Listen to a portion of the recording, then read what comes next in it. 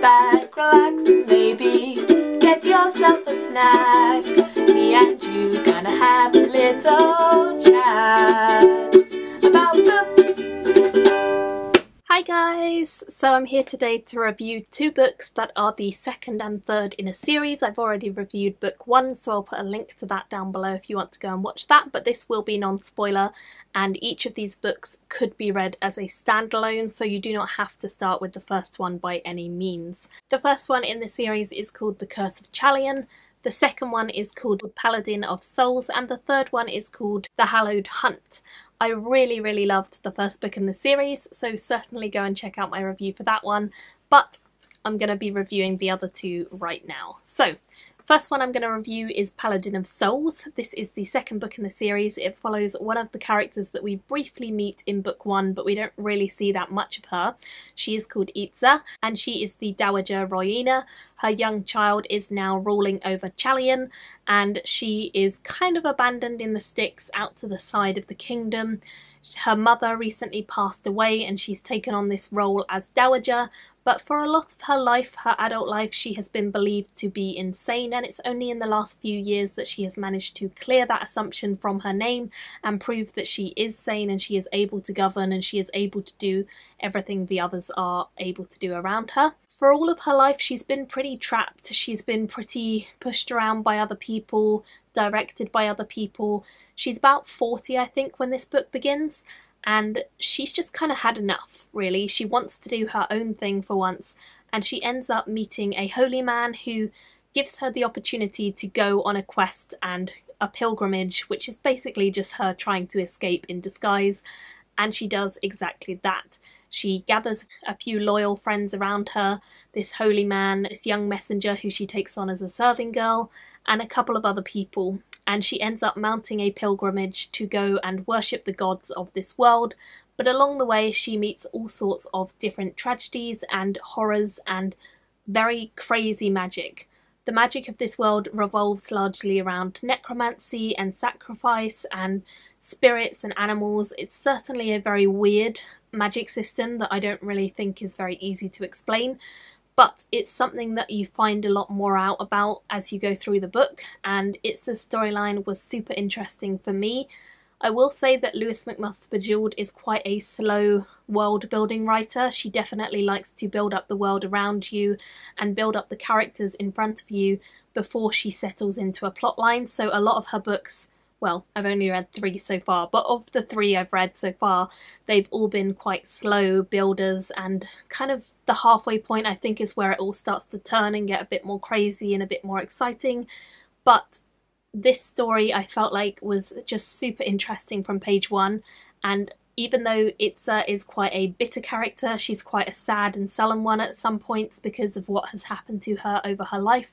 She has a lot of regrets and a lot of worries in her time that have made her kind of put her own happiness to the side in favour of helping her children and being there for people who loved her and hopefully trying to prove her innocence about madness.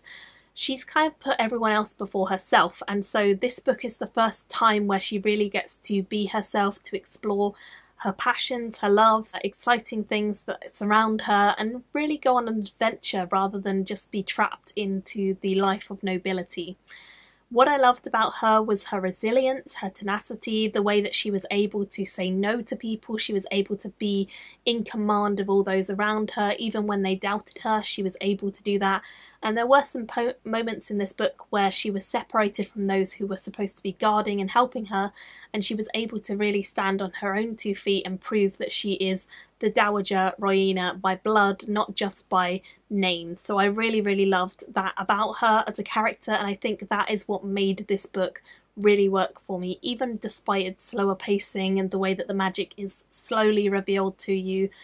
It was just really, really great the whole way through, and I really enjoyed it. So I believe I ended up giving this one about a 4.5 stars. It was definitely super great, super on par with Curse of Chalion, and I was really excited to head into book three, The Hallowed Hunt. However, sadly, disappointingly, The Hallowed Hunt really was not my kind of book. Um, I think it's largely because we focus on a different character again, And this character is one who I didn't really like. He is a young noble who is sworn to the crown, and he goes on this journey to go and collect a murderess who has murdered one of the people in power that he is supposed to serve.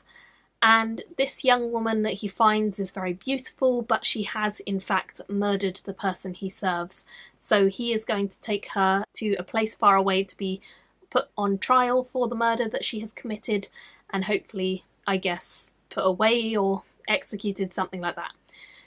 So the thing I liked about this book was that we got more interesting magic in this world. There are things like demons that kind of inhabit people's bodies and we get bonds between animals and people, which I really enjoyed kind of learning about over the course of the book and I do think there were some great moments with the magic in this world and in this story. But for me, it never quite gelled in the same way that Curse of Chalion and Paladin of Souls did for me.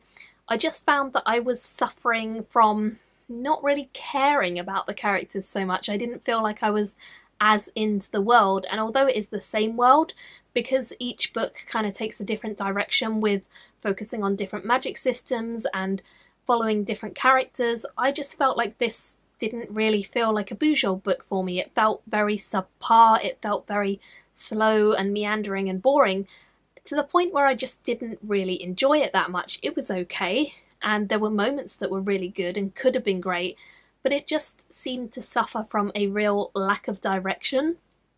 Whilst the other two books in the series are quite slow moving and do take a long time to build, I feel like this book in particular just never really went anywhere. There were things that happened, and of course, the story does have a, res- a resolution, but for me, it just felt a bit contrived in the end. And there is a very epic ending to this book, but the point that I got to that ending, I just. I was already bored of it. I was just not feeling the story by the time I got there. And so, even though it was a good ending, it just felt a bit subpar and a bit too little too late, I guess. Um, I just wasn't impressed by this read, and that was a real disappointment. I kind of knew from a few other people that the third one in the series was supposedly the worst, and so I kind of hoped that I would like it more than they had insinuated I would. And this one is actually set up as a prequel to the series rather than the third one chronologically. So maybe the world was just rubbish before the other two stories, I don't know. But for me, it was it just didn't feel great and I just I was let down by this one so I wouldn't really recommend the third one if I'm honest. I think you could easily read the first two and be quite happy with the story and enjoy it as it is because they are standalone books and they do link by the world but nothing really else links. A few characters here and there but not much to be honest. So for me I really really liked book one and two. The third one I ended up only giving a 2 out of 5 stars it was okay. I wouldn't say it's an essential reading thing at all. I would say it's there for you to read if you want to, but for me it just it wasn't great. So I believe she has some other novellas in this world, which are the Penric ones. I've heard very good things about those, so I'll certainly be trying out those books in the future when I can get my hands on them. And I know that she has some other science fiction books and a whole series of them. I think there's like 16 or something, which I certainly do want to get my hands on and try because I keep hearing great things. I am definitely intrigued about your thoughts on Bujold generally. Have you read any of her books? What do you think of them? How does her fantasy compare to her sci-fi? Let me know in the comments below. Thank you all for watching and I'll see you very soon in my next video. Bye! Thank you for watching my video today come back and chat with me again.